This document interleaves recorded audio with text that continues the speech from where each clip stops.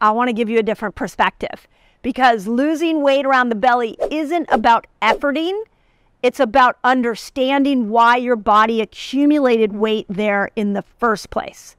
So, first, I hope you all know, if you're new to my channel, you probably don't know, but I hope many of you are waking up to the fact that calories in, calories out is not your strategy for losing weight. If it was, we would not be in the obesity problem that we have today. So, what happens when we lower our calories down and we increase our exercise and we use that as a weight loss tool is we redo or we reset our set point. Set point is what that moment that your body is either going to gain weight or lose weight. So, let me give you an example. If you only eat two, let's say you eat 2,000 calories and you exercise an output of 500 calories, giving you a net of 1,500 calories, and that's working for you, you're going to always have to stay at that 1,500 calorie mark to stay the same weight. If you want to lose weight, you're going to have to get under that 1,500 calorie mark, go to more like 1,000 calories to be able to drop weight. And then if you do that, you start lowering your set point. Now your set point's a thousand calories. This is why we've we have an obesity problem is everybody's counting calories. Everybody's trying to exercise their way out of their their weight gain and it is not the tool in order to lose weight. You want to be smarter than that. You want to tap into easier systems than that. So, I'm not saying go eat a ton of calories. I'm not saying sit on your bum and don't exercise. I'm just saying be cautious about the way that your brain might be approaching weight loss from this calorie in, calorie out standpoint, because long term that is not successful. Okay. Number two reason why diet and exercise doesn't work for losing belly fat is it's not allowing you to dip into your fat burning energy system. So remember, I've taught you all here on this channel that what we want to do is metabolically switch. I spoke of it in Fast Like a Girl. I have a whole chapter on it. So when you are metabolically switching, you are becoming a very good sugar burner. And then when your blood sugar comes down, you're switching over into your fat burning energy system and you're starting to burn fat for fuel, which is giving you those ketones. So if we never come over here to this fat burning system, then what happens is you're never permanently burning fat. You're just working from the sugar burner system. So let's use what the classic thing somebody does when they go to lose weight is they restrict what they eat and then they exercise a bunch. All of that is just using um, trying to manipulate the sugar burner system. The only way you get over the fat burning system is through fasting. This is why I'm such a fan of fasting is I want you to practice taking what those good habits that you have around food, those amazing habits you have around exercise, and I just want you to pair it to a fasting length. And in Fast Like a Girl, I wrote six different lengths. So it's anywhere from 12 hours to 72 hours. That's where you start to see more fat being burned permanently so diet and exercise won't work alone, but if you pair them with a fasting window, they're going to work a lot better because they tap into this fat burning system. Okay, number three, and this is a huge one. And, and what's interesting to me is that we've been really watching your guys' feedback on Fast Like a Girl. And um, actually, Amazon gives us some really interesting data on what people are highlighting in Fast Like a Girl for the people who bought the ebook. And one of the most common highlights in there are obesogens. So, what happens when we diet and exercise to lose belly fat is we get caught in the low, low carb, but the diet cokes, the, the gimmicky fake diet foods that are packed with chemicals. And those chemicals will make you gain weight. They are not your door out of, of weight gain, they're actually your door in to weight gain. So obesogens are everything from parabens that you can find actually in like your sunscreens and some of your lotions and your hair hair products, um, your makeup. So please scan your beauty products. Pesticides. Pesticides are on anything that's non-organic. So please try to, to, to buy more organic foods whenever possible. Phthalates. Phthalates are found in commercial meats. They're also found in fragrances. So, any of your beauty products that have fragrances in them or perfumes that you wear, we just don't think of those as, as causing us to gain weight, but they will have a negative impact on blocking receptor sites that will lead to more insulin resistance. Um, so, those are really important chemicals that you look at. An easy thing to do, you can look at for it in Fast Like a Girl, or you can go- just Google obesogens and look at the list. But then look at your toxic environment. Look at the beauty pro- uh, products you're using. Look at the cleaning products you're looking. So obesogens are a real thing, and they're everywhere, and they're causing you to hold on to weight. So please start to unload your your toxic uh, loads and and bring them down so that you can you can really live in the body that you want to live in. Okay. Number four reason why diet and exercise doesn't work for belly fat is that it doesn't really address the cortisol issue. Now, gentle forward movement uh, exercise like walking, a gentle run, uh, uh, you know, just movement, a yoga, those are cortisol regulating activities. But I'm talking about when you decide, hey, today's the day I'm going to lose weight. So I'm going to slap on some gym shoes and I'm just going to go run as hard as I can um, and you really push yourself, what we know is that if you're chronically doing that over and over and over again, you're raising cortisol. And belly fat in particular is where corti- extra cortisol gets stored in. So I'll just use myself as an example. I know that when I start to feel like, huh, put on my pants a little tight around my waist, and I know I've been fasting, I know I've been eating well, but there's something that there's a little extra padding around my belly, I go immediately to what have my stress levels been? Because when stress is high, cortisol's high. When cortisol's high, you become more insulin resistant and your body stores glucose and cortisol in, body, in, in belly fat. So you want some exercise variation where you're doing yoga, you're walking. You can still have your, your, your push days, but I want to make sure that you're balancing that with some recovery and some lower cortisol activities. Okay, now number five, the number five reason why diet and exercise alone doesn't work is because you need your liver to burn fat. So, diet and exercise, unless you're going to go into more of the bitter foods, which a lot of you here are doing because I've taught you on video how to do that, but we really want to see that you're leaning into some of those radicchio, arugula, the greens that support healthy liver production, ginger, uh, lemons, those bitter type foods really support your liver, and your liver is this key fat burning organ. So we've got to love on the liver, and diet and exercise doesn't always do that. This also means things like alcohol. Um, there are a lot of clean alcohols you can do, but if you're really trying to lose weight, get off alcohol of any kind and make sure that you are supporting good liver health because you need your liver to be able to burn fat. So there you go. There are my five things. I hope that's that's incredibly clear. If you've tried any of these five, please let me know what's worked for you for belly fat. We are a community here. Again, we don't want to change your set point. We want to dip you into the fat burning system. We want to make sure that you're bringing your obesogens down.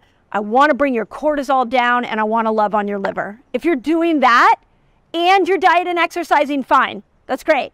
But what happens right now, like I've said, is most people turn to diet and exercise without looking at those five things. So I'm gonna let you in on a little secret. I have one major superpower in this world, and it literally is making salads. And I ask any of my friends, in fact, any of my friends listening to this right now, put in the comments. If, if, if all my friends are like, oh, you're coming from di- for dinner? Let's make a salad. So, and when I make a salad, uh, yeah, I think about taste, but I think about health as well. So on this video, I'm gonna show you how to make a salad that heals your body and what do we all want to get rid of? Belly fat. So I want to show you how you put together a salad that helps you burn belly fat and keeps you healthy. Deal?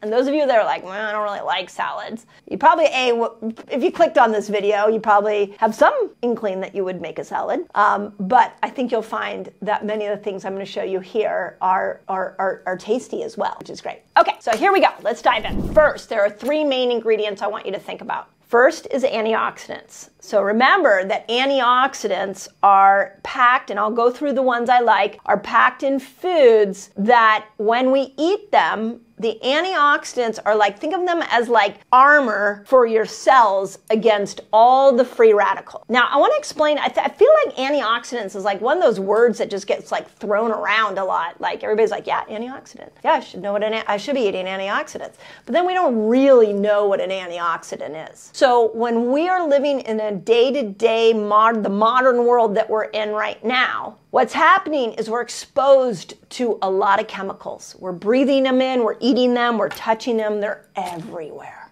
And those chemicals are going into our cell and they're damaging DNA. And when we look at things like cancer, when we look at chronic diseases, when we look at dementia and Alzheimer's, we look at the struggles that women have with menopause, so much of that is this damaged cellular inner parts of the cell, the working parts of the cell, but specifically the DNA.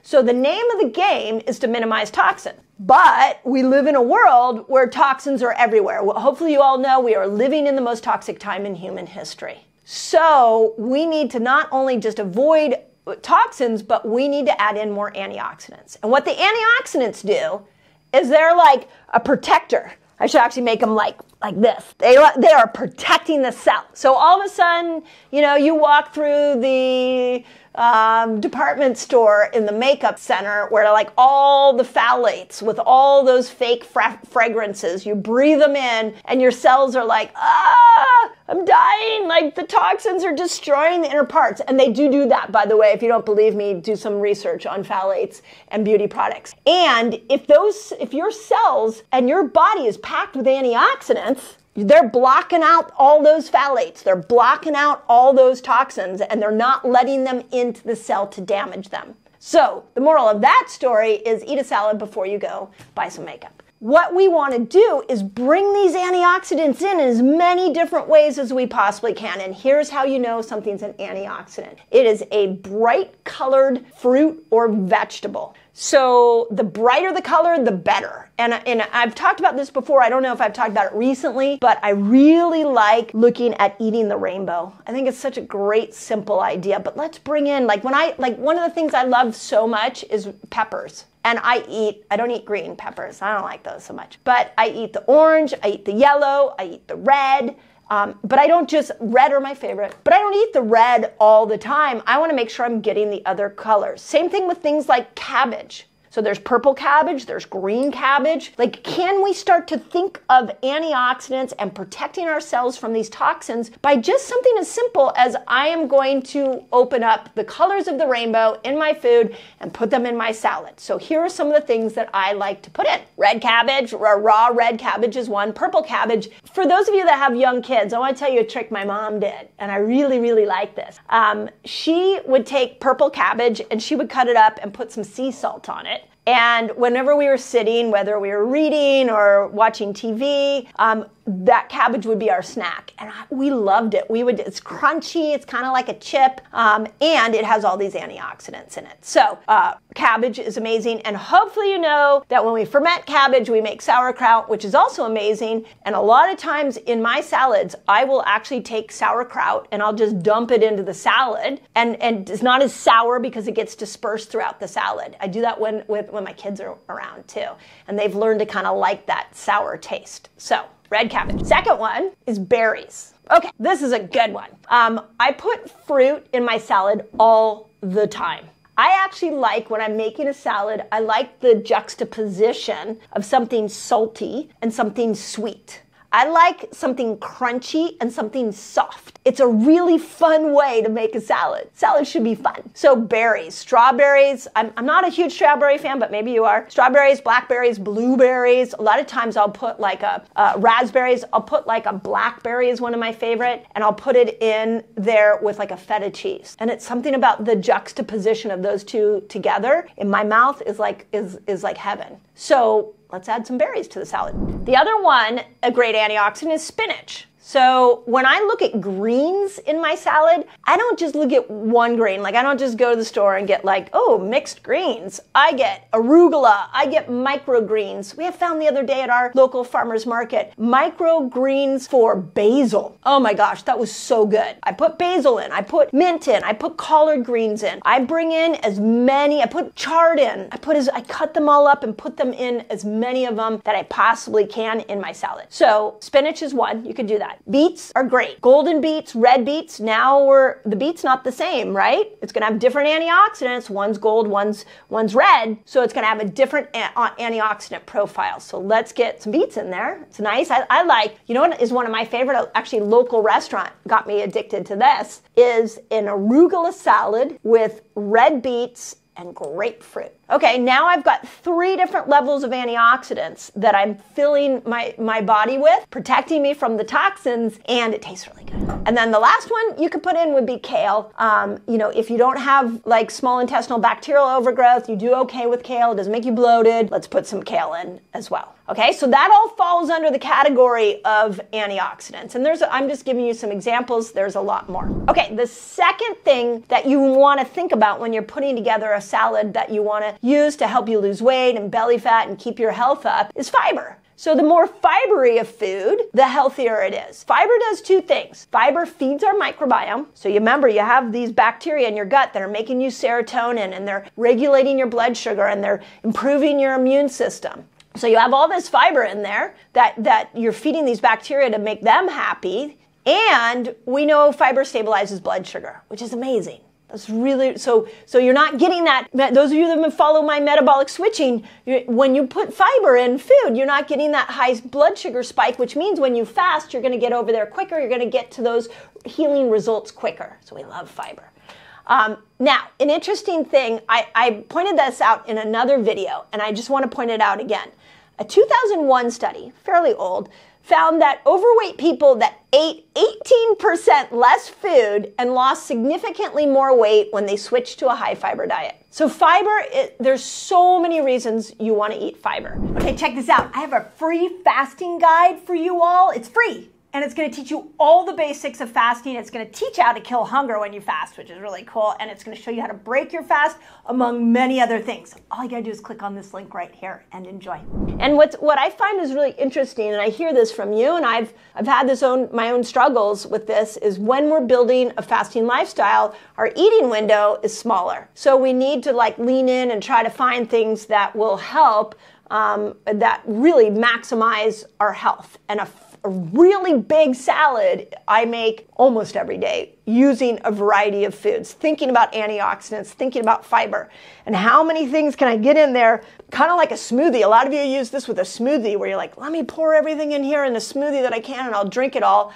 I do that with a salad. So, some of the fibery foods that work really well in salads, and some of them are going to surprise you. The two are, are legumes, chickpeas and lentils. So, you've got high in protein, high in fiber, tasty. Lentils are really tasty. Lentils are great for hormones too, by the way. Quinoa. Quinoa is super high in protein. You can make a quinoa salad. You can pour quinoa into your lettuce salad. That one's really good. We're back at the kale and the cabbage, so you gotta double dipping. You're not only getting the antioxidant, but you're getting the fiber. Avocado, like my favorite food. I think every video I pretty much talk about avocado. I'm definitely in love with avocado. So it's so good. I when I make a, a salad, I often we have avocados out in a bowl on our on our countertop in our kitchen. It's like the last thing. I'll make it, I'll put it all together, and then I go, oh, do we have an avocado? Because I know that the avocado, if I can add as much of the avocado as possible to the salad, that I actually know it will it will fill me up better. Whereas if it's just that without some fat in there, I might be hungry an hour or two later. Okay, last macronutrient that you want to put into your salad. And this one is the most filling and it's protein. We already talked about protein, right? Talked about it on a lot of videos. I am such a fan of protein, whether you're plant-based or you are um, animal-based. Protein is the is the brakes on hunger. It helps you build muscle, and you need to be getting lots of it. So when you make a salad, can you put protein in it? The other thing about protein is that not only does it help you build muscle, so you have more insulin receptors, so you're more insulin sensitive, but it helps in repairing joints. It is It's got collagen in it. It keeps your skin and your hair looking at its best. So I can't say enough about protein just let's just protein let's make sure we're doing more protein so some of my favorite and some really unique ones free range chicken for sure and when i go out to eat i'm always thinking free range chicken in my salad grass fed steak a lot of times surely you've thought about this but a lot of times whatever we ate that night that protein becomes the source of protein for my lunch salad at lunch. So, and a lot of times that is grass fed steak. We've got wild caught salmon, so wild caught, not farm fresh. Skipjack tuna. Go watch the video that I did on my no carb snack. Skipjack tuna's in there. Um, sardines. I was just recently in Norway and um, I was staying in a home where they had left me some keto, yummy keto treats, and sardines was one. I decided to dive in and try it. Sardines are pretty good if you get a high quality sardine. Um, and then, of course, eggs. Eggs are great in a salad. Just hard boil an egg and put it in a salad is unbelievable. So, use the salad, look at it like you look at a smoothie. Like you're putting all these antioxidants, fiber, and protein. Every salad, but think antioxidants, fiber, protein. And that is what can be this healing treat that tastes so incredibly good. So here's what I need from you, because I'm I love salads. So I want to learn from you. What do you put in a salad? What did I miss? Put in the in the comments what you put in a salad. If you have a salad recipe, I'd love to see it. Um, and let's all get healthy together and more salads, please. That's the key to longevity, ending chronic disease, and living in a body you love. Hope that helped. Dr. Mindy here, and on this video, I'm going to show you some fasting strategies and some food strategies to go after belly fat. So if you are new to my channel, I just want to say welcome. Here we go. Belly fat. There's two pieces to it. There is the subcutaneous fat that's over the top of the muscles, and there's the visceral fat that's underneath the muscle going and doing a bazillion abs is never going to make these two layers of fat go away. If anything, it's uh, oftentimes makes you actually your abdomen stick out even more. So you got to have strategies to go after these two types of fat. And believe it or not, subcutaneous fat and visceral fat require two different ways to go after. And I'm going to actually give you nine different ways to go after these two these two types of fat. So, the first thing that you've got to realize is that all fat is is excess sugar, it's excess hormones, and it's excess toxins. Your brilliant body found a place to store it to save your life. If it didn't store it as fat, then it would have stored it on organs. And if it stores it on organs, you would die much quicker. So, what your body did is it took this excess and it put it on the back of your arms, it put it on your glutes, it put it on your belly, put it on your legs, put it in these places that you are looking at and you're not excited about it. So, let's start to unwind this. So, there are three steps that I recommend that you do. And within each step is three things. And I would do it in this order. So I wanted to give you some things and a checklist that you can do to go after this abdominal fat. So first step, you've got to increase your fiber. Here's why. When you are eating carbohydrates like cracker, it has very limited fiber in it, so it's going to spike your blood sugar really high. And that extra blood sugar is going to be stored as fat much easier.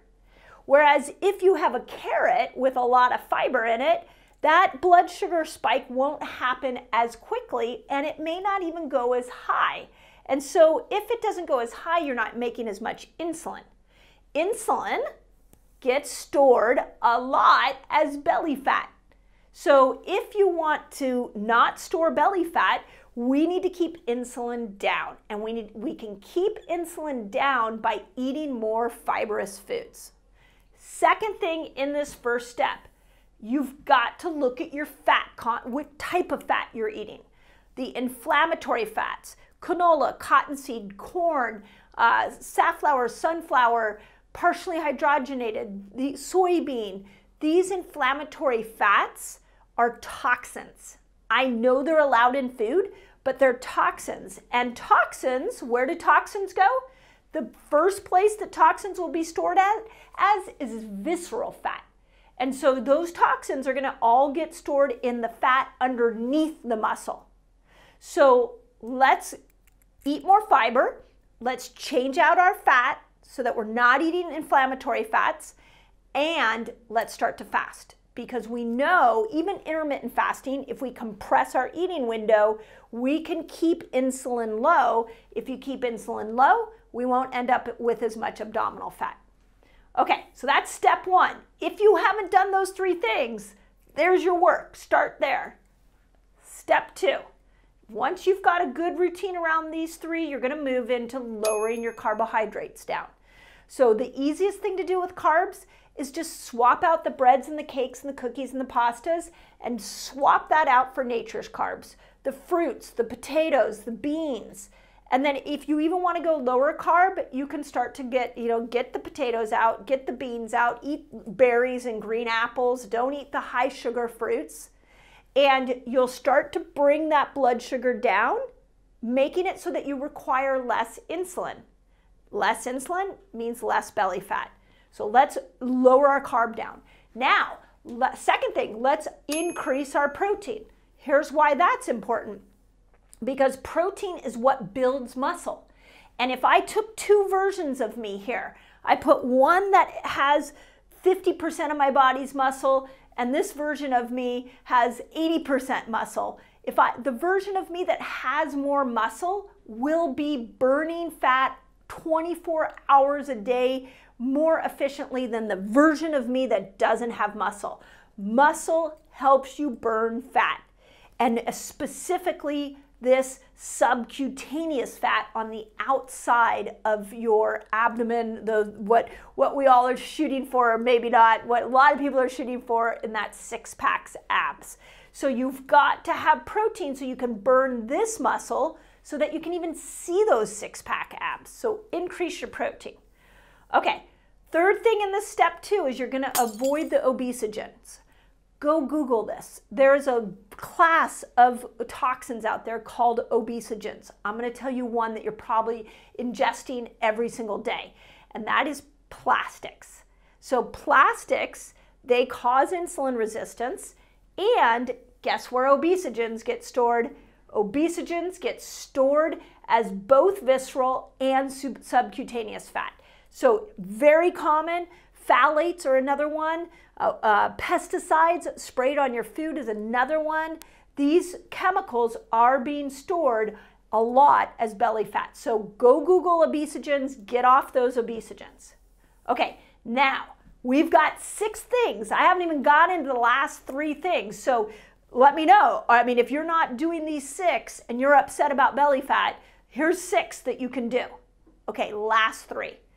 Cardio. Where does cardio fit in? Well, this is really interesting because cardio, what cardio will do is help you use cortisol. And cortisol also gets stored as fat. If you don't use cortisol, it will go on this subcutaneous area of fat. So there, here's how that plays out. You're at work and you, your boss comes in and gives you a, a ton of, of extra work to do. You're stressed out and now you go and sit at your desk and all of a sudden you got cortisol surging through you, that cortisol is going to go immediately to fat. Cortisol is meant to make you move. So, a really good trick is when stress goes up, you move. Go for a walk, get out, walk around your building, just don't sit. But a lot of us never learned this, so that cortisol got stored as fat. So movement is how we unwind that cortisol that has that extra cortisol that's been stored in our fat stores throughout our body, but specifically the belly area. Okay, last two things. Strength training. Again, we want to build muscle up so that we can have a faster metabolism and so that we're more efficient at, at managing glucose and insulin. There's a thousand different reasons to build muscle, um, but definitely enhancing uh, your fat burning capabilities and minimizing the amount of fat on your belly, really important to be strength training.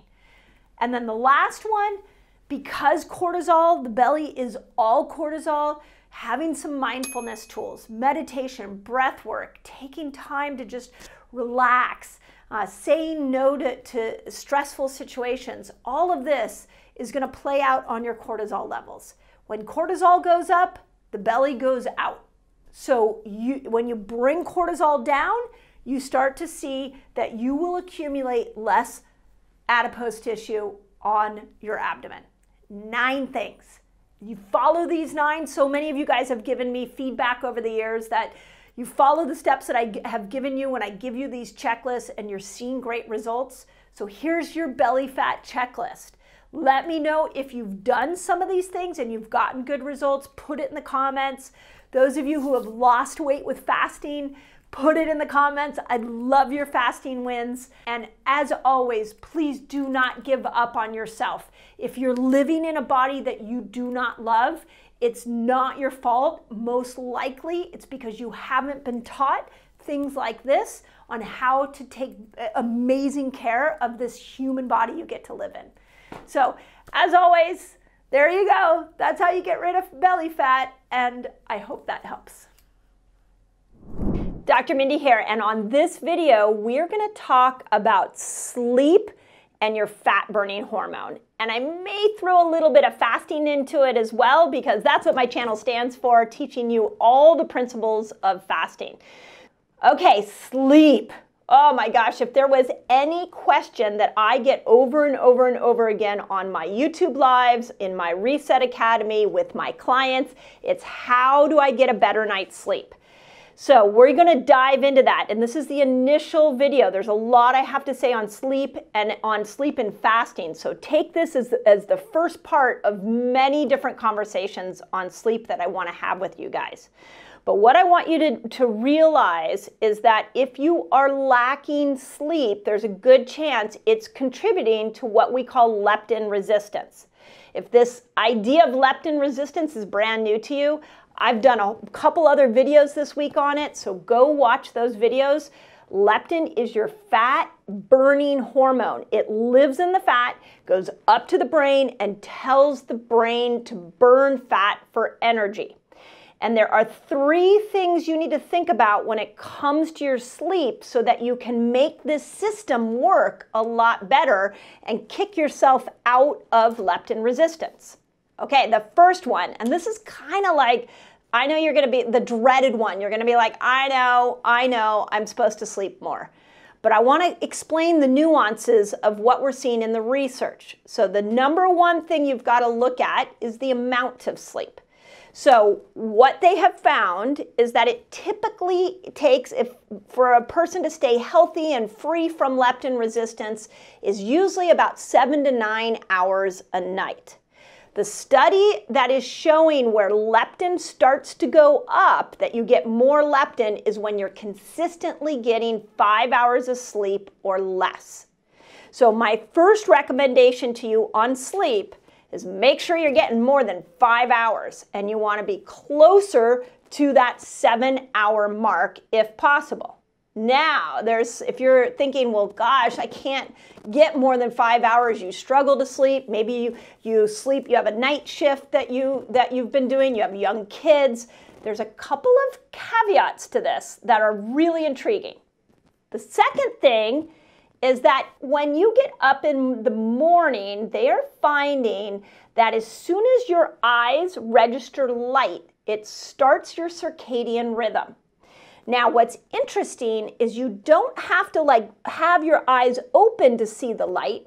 You can just have your eyes closed, and if the light is coming in from your uh, from your windows, your brain starts to register that it's daytime, and it'll start to set your circadian clock. What they've noticed in the setting of the circadian clock early in the morning is that specifically you are getting more red light. So we have the most amount of red light in the morning. At sunrise, we have the most amount of red light at night. And it is this red light that will start to bring down your leptin levels. How cool is that? So the study went on to say that if you only got five hours of sleep, but you woke up to light and you registered red light early in the morning, that you would still bring your leptin levels down, that the amount of sleep didn't matter as much as long as you were registering this red light early in the morning, because it is that light that sets your circadian clock. How cool is that? So, what do you need to do to register that red light?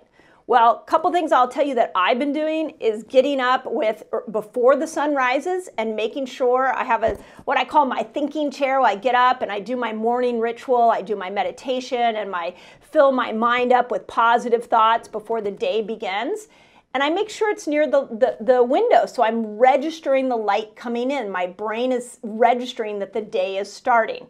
There also, are some really interesting alarm clocks that will actually in your room start to turn on the light. So even as you're like, you know, your eyes are closed, if that alarm clock is the light starting to fill the room, that's starting your circadian clock, bringing that leptin level down. And then, as many of you know, we love the biohack of the Joovv light. So that's our personal, there's a lot of great red lights out there. We personally use the Joovv light. So if you have like a Joovv Mini or a Joovv Go, you can just put that right next to your morning chair and make sure that you're getting red light early on. And that will reset your circadian clock. It'll make it easier for you to go to bed at the end of the day. And it will also bring your leptin levels down. How cool is that? Okay, Third thing that I want to tell you on sleep is that there is some interesting research, and I just learned this from Dr. Andrew Huberman. He's a neuroscientist out of Stanford University. He teaches at Stanford Medical School. And if you don't follow him on Instagram, go follow him. He's got a podcast called Huberman Lab. Highly recommend it. But he brought to our attention a study that is showing that the most important part of sleep is not the amount it's not the light that I just talked about. It's not necessarily the depth of your deep sleep or your REM sleep, but it's your consistency of sleep. Now, his study wasn't done on leptin, it was done on brain performance and learning. And it's such a powerful concept, I wanted to bring it to you guys. He goes on to talk about is that if you go and get 10 hours of sleep one night, and the next night you get seven hours, and then you get five, and then you get eight, that inconsistency of sleep is more damaging to the neurons of the brain than if you're getting five hours consistently over and over and over and over again. So let's put these three principles together. If you know that you don't get a lot of sleep, couple things you're going to want to do. You want to make sure you're waking up to light. You might even wake up to red light and you want to make sure you're going to bed at the same time and that you're getting up at the same time. Those two pieces seem to have more of an influence on our uh, what our brain does when we sleep and seems to have more of an influence on our leptin levels than anything else in, in related to sleep. Pretty cool, right? We're just learning so many new little hacks. But what I really want you to take away from this video because I know so many of you guys are trying to lose weight is that it can happen sometimes. We see it in our resetter community where you are doing the right things over and over and over again, but you're still not getting the result. And if you're not getting the result, we've got to look at these hacks like sleep. How do we get you to sleep better? Let's look at the science so that we can make sure that your sleeping patterns are in alignment with the science. There is nothing more frustrating than doing the right thing and not getting the right result. So sometimes you got to dive into these little tweaks and you will find that you'll have a much deeper experience with all of your fasts. So that's sleep. There you go. Let me know. Those of you who are getting great sleep and you've seen great results with your weight loss, please put it in our in the comments so the community knows. If you want more information on all those uh, those research studies that I just pointed out to you, they'll be in the notes. And this whole week is fast training week. So I am bringing you the tools. Each one of these videos is lining up with the next one. My hope is at the end of this week, we have five solid videos that you will know how to kick yourself out of leptin resistance. But we cannot have a conversation about leptin resistance without looking at sleep and what the science is saying on sleep. Dr. Mindy here, and on this video, I am calling all my menopausal women to listen up. If you are struggling losing weight through the menopause experience and beyond, those this is postmenopausal women. I hear you. I know you're you're struggling with getting those extra weight off. This video is for you. Okay, here's I'm going to keep it really simple. Here's the first thing to know. When you go through menopause, as estrogen declines, you become more insulin resistant. So it's that downward spiral of estrogen that causes insulin resistance, which is why your old diet that you did at 35 and 25 stops working. Your old tricks stop working. You had estrogen at 35. You had estrogen at 25. You don't have that same estrogen level at 45, 55, 65.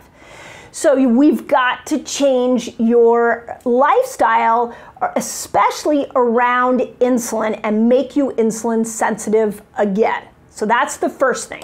Second thing, it's kind of the sucky part of menopause is that we get a toxic dump. So when we get a toxic dump, when our hormones after 40 go up and down, all those toxins that have been stored in our tissues, stored in our bones, all the heavy metals, the lead, the mercury, the thallium, thallium's what causes the hair to fall out. Um, all of the aluminum, those come out of our tissues and they go up into our brain and they start to affect our moods, right?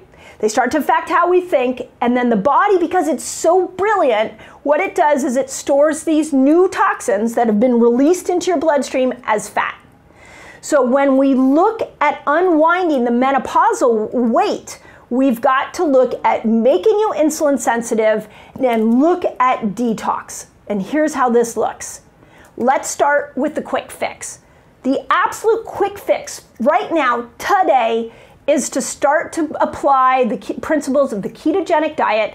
I want you to go into the lower carb, uh, ideally for a menopausal woman who's like trying to lose weight, keeping your carbs around 50 grams net carbs is a great place to start and make sure that your car that your carbs are coming from nature's carbs. So we want them to come from carbs that come out of the earth, not carbs that come out of, of, of a food facility. So the processed carbs, even if they're low calorie, if they're low fat, you might have been doing that for years, those are the things that are causing you to be insulin resistant right now. So the quick fix is bring the carbs down and make sure that they're coming from nature's carbs.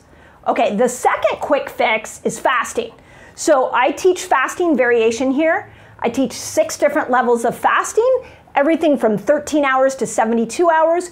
Go watch the videos I've done on the six variations of fasting. But fasting for menopausal, postmenopausal women, it is like it's like the golden ticket. So if you haven't tried fasting and you're in your menopausal years, now's the time. So go back to learning how to build a fasting lifestyle. Okay, now let's talk about long term. What do you do long term? So the short term is fasting and low carb ketogenic style eating. The long term I put in the menopause reset. So this book, you can get it on Amazon right now. What was really interesting is you all asked me for this to write this book, so I wrote it, and so many of you benefited from it. Thank you if you've read it and enjoyed it. Appreciate you, um, and and tell put it in the comments below because we are a community here. But here's what I did in this book is I put five lifestyle changes that every woman after 40 should do. And I'm going to run through those five right now. I already gave you one. You should start fasting. Second, you should learn how to vary and cycle your food choices. So I go into detail in this book. I go into even more detail in Fast Like a Girl. Third, you got to think about your microbiome. So, if you've been on antibiotics, you've been on birth control a lot during your life, when you go into menopause, you have a whole set of bacteria called the estrobolome that breaks estrogen down. So, if that's destroyed, you might be making the uh, age appropriate estrogen, but you're not breaking it down. So, we've got to go back and feed our, our estrobolome. I talk about how to do that in this book. Fourth principle the toxins you're putting on your face, the toxins you're putting on your body, your beauty products, the toxins in your house, the toxins stored in your body, those are causing you to gain weight. Time to detoxify. Absolute. Now, as you go through menopause or you're in postmenopausal years, detox becomes more important than any other time in your life. And then the fifth one is what uh, Libby Weaver calls, Dr. Libby Weaver calls the rushing woman syndrome. I didn't label that, but I sure resonate with it. We've got to start to look at our stress loads. And I'll give you one other bonus one I've been thinking a lot about that isn't in the book, which is working on your bringing your circadian rhythm back. So make sure that you're out in the sun, that you're seeing the sunlight midday, you're getting up and seeing a sunrise and sunset because these blue lights that are showing up and that we're in all day long will also throw off your hormones and you become more vulnerable to those during menopause. Now, here's what's really interesting. What do you do if you're listening to this and you're 60 years old and you're like, okay, well, I did all that wrong? Well, this is why uh, these principles are so important for women is that it's not too late to go back and change your lifestyle. When you put the five principles that I put in this book into action, even at 65, you regulate estrogen, you regulate progesterone and testosterone, you bring balance back to your hormones. So it's not too late to start to drop weight. We've just got to go back and redo your lifestyle. And that is would be my absolute number one recommendation. Now, if you are 40 and you're like, "Okay, I don't I don't want that weight gain help now." Put these into action right now. I feel like this is the book that every 40 year old woman should be handed so that she understands what's coming down the pipeline for her with her hormones. And I made it short and easy to read and simple to apply. So if you're 40, make sure you still have a cycle or you're perimenopausal and your cycle's like 60, 90 days apart, make sure that you're applying these five principles. Okay. I have sat with so many women over 40 that are struggling to lose weight. Ah, like I feel you all. And I want to explain to you why that happens. Uh, I'm a 52 year old woman. I can tell you that I was in the best shape of my life at 40. By the time I hit 43, I was packing on weight. I wasn't sleeping, and uh, my mental clarity uh, and and just overall energy levels were starting to plummet. And it was because at 40 we have to start to make some dramatic changes in our lifestyle to match the declining estrogen.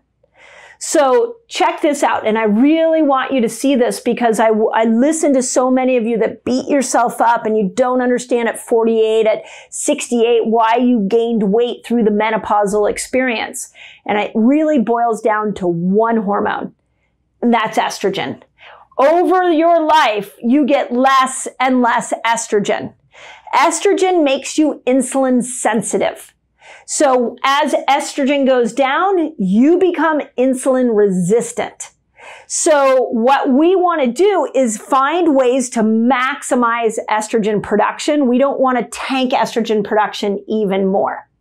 Now, the beautiful thing is as you learn how to fast and you move through menopause and you get over into the late 50s and 60s, what we typically see is if you go through menopause in grace, that when you get to postmenopause, you actually don't have those lingering symptoms that a lot of women do have as they have gone through their 40s with not really minding this key hormone. So let me show you what estrogen really wants you to do after 40. So the first thing is I want you to understand that the major problem after 40 is that you are more insulin resistant. You're going to gain weight more easily. I know it's not fun, but it's part of the deal. Unless we do some, I'm going to show you the solution here. Uh, your mental clarity might be a little bit off. And this one really fascinates me. And I've talked a lot to several hormone experts on the Resetter podcast, my, my podcast, um, about how it takes our brains as we move through the 40s, it takes our brain time to recalibrate to the loss of estrogen. So we become more reactive to stress. We, we stress just clicks and kicks in much quicker. So we know that this decline of estrogen is not just a weight gain issue, it can be a brain issue as well. So knowing that that's the problem, what's the solution? And this is where intermittent fasting, fasting of all types really comes into play. In the book, I lay out six different levels of fasts for you to engage in and practice with. So once you get the book in your hand, you're going to be able to practice all these fasts. But here's what, if we want to bring estrogen back, women, if we, we're never getting her back to this point, by the way, we're never going back to her highest point in our mid 30s, maybe even early 30s. It's going to go down from there. But if we want to maximize her glory, we've got to do more fasting and we've got to do more keto.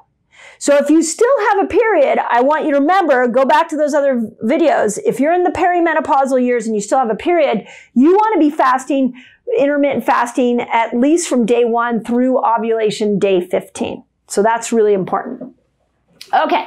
Now, here's a couple of things I want to point out to women over 40 is that if, what are some of the obstacles that we get when we start to try to lose weight over 40? And here's a couple of things we see.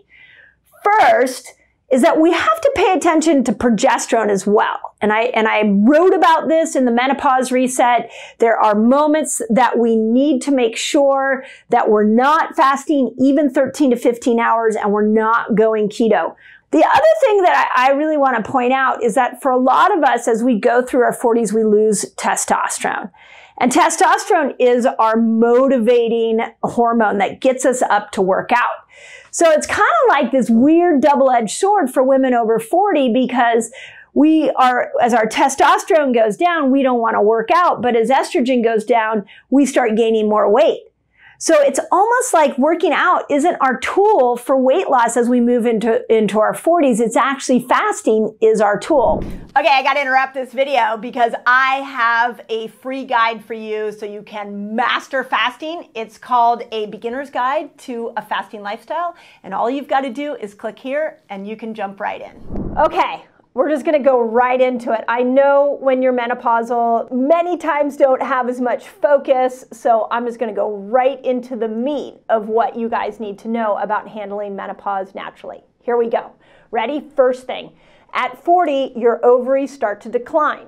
As they decline, they will have a dramatic effect on three hormones estrogen, progesterone, and testosterone. Now, you are never getting these hormones back again. So I'm, I apologize. Uh, I have a wonderful chapter in my book that I titled Dear Progesterone, I'm sorry I took you for granted because that's what I realized is, oh my gosh, I love progesterone, but you're not getting it after 40. So your ovaries start to make this slow decline, and what they do is that they hand over the production of these sex hormones to your adrenal glands. Now, if you are a stressed out, rushing woman, you, uh, you have been adrenal fatigue for years and years and years, this is going to be a huge problem for you as you go through menopause. So, we'll talk about what you can do, but I want you to realize that there is this handoff that's happening, and the adrenals are now in charge. By the time you get into that late 40s, early 50s, your adrenals are running the sex hormone show. Okay, second thing I want you to realize is that this a decline in estrogen means an increase in insulin resistance. So these five things I'm going to tell you become so relevant in once you get over 40 as that estrogen goes down. The habits you used to be able to do at 35 to keep your weight where you wanted it to be don't work so well at 45, and they definitely don't work well at 55. This is why fasting works so well. There needs to be a change in your lifestyle so we can match that decline in estrogen and not get you insulin resistant. So I'll talk about that in a moment. The third thing I want to tell you before I go into the lifestyle changes is if you are adrenal fatigued, now is the moment that you need to support your adrenals. And there's a lot of great ways to do that. So if you're working with a holistic practitioner, lean into some adrenal support. But your adrenals are good. If they're not great, then your progesterone levels will be low. If your progesterone levels are low, you're not going to sleep well, your happiness will be down, and you're going to have trouble calming your body. If your adrenals are fatigued, testosterone is going to be low. That's your motivation, your libido, your ability to build muscle. So, you know, from one organ not doing well can have a huge hormonal consequence for you. So make sure you're supporting your adrenals. Okay, five changes you need to make. Are you ready? And I wrote about them in the Menopause Reset. So this book is meant to be one that you could just devour in 48 hours and you can put into action. Here are the five things. Okay, first, you got to stop eating all day. We've got to lean into a fasting lifestyle. If you're here on my channel, my guess is you're already trying to figure out how to do that. In the book, I give you steps to go from zero to being able to fast like a crazy woman, and I mean that with a positive, crazy. In the book, I'm going to show you those steps. Second thing that you need to do, you need to know how to vary your food. Now, this one is tough, I get it, but I want to teach you how to lean into more keto variations. And there are a lot of different styles of keto. There's low keto, where you bring your carbs way down. There is ketobiotic, where you keep your carbs a little higher. Carnivore is a form of keto. There's keto vegetarian. I talk about it all in the book, but I, if you haven't tried keto, now's the time to try keto because it will really help you become more insulin sensitive again. But as you guys hopefully know, you also need to have some hormone building feast days where you're leaning into foods that raise progesterone. So knowing when to do keto and throwing keto in, mixing that with some fasts, and then throwing in some hormone feasting days, that is the key to being able to manage almost any menopause symptom. So again, if you're like, what is she talking about? It's in the book or it's in the survival guide. We got all everything I could think of to help you through menopause. We put in here and we put in the survival guide. So it's there for you. Okay, just put survival guide in the notes and, and you'll get the free copy. Okay, third thing, your microbiome. Go back and watch the video that I did on hot flashes. Your microbiome matters, and especially as you move through menopause. So lean into more leafy green vegetables, more vegetables in general.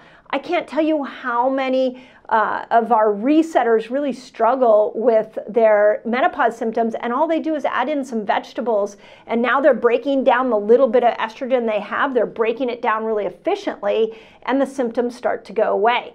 So you're fasting, you're leaning into keto variations, you're feeding your microbiome. The fourth step is that I want you to think about your toxic load. The things you're putting on your skin, what you're putting on your hair, your household cleaners, um, if you're living in a moldy home, the lead in your water, um, the amalgam fillings in your mouth, all of this starts to catch up to you when you go through menopause. So, first step is look around at your toxic load and can you bring your toxic load down and start to learn some how learn how to detox. Detox becomes more important at menopause than any other time of your life. And then the fifth one, and this is the one I'm still working on. I will tell you that I have not perfected this one. The other four I've done really well on, but this one's hard. And it's called Stop the Rushing Woman Syndrome. That is a term that was coined by Dr. Libby Weaver. And in her book, she talks about how our physiology was not meant to go, go, go all the time. So once you move into menopause, you're going to have to be more sensitive to saying no to things. You're going to have to p- build in some recovery days. You got to slow things down. You can't stay at that same pace, otherwise, those sex hormones will be tanked. Get out into nature, get out at sunset. I love for menopausal women to walk at sunset because it starts to register that the day is ending. You'll get more melatonin, you'll sleep better. So there's a lot, again, really cool hacks like that on the menopausal survival guide. So if you want a copy of that, just put it in the comments. So those are the five things. And guys, I, I, have been over the last six weeks, I've been on podcasts, I have been interacting with our academy, I've been listening to you guys, and I, I watch the comments. People always put, hey, this stuff works. And I kind of laugh to myself because I'm like, yep, it does work. It works. I, I didn't just test it on me. We have rolled out these five things over hundreds of thousands of menopausal women worldwide, and they work. I know you're struggling to lose weight. It may be your fasting length. So in this video, I'm gonna show you the perfect fasting length to unstick weight loss. In fact, it's such an incredible tool for weight loss. I think you should start with fasting before you change your food to be able to get into that door in for losing weight.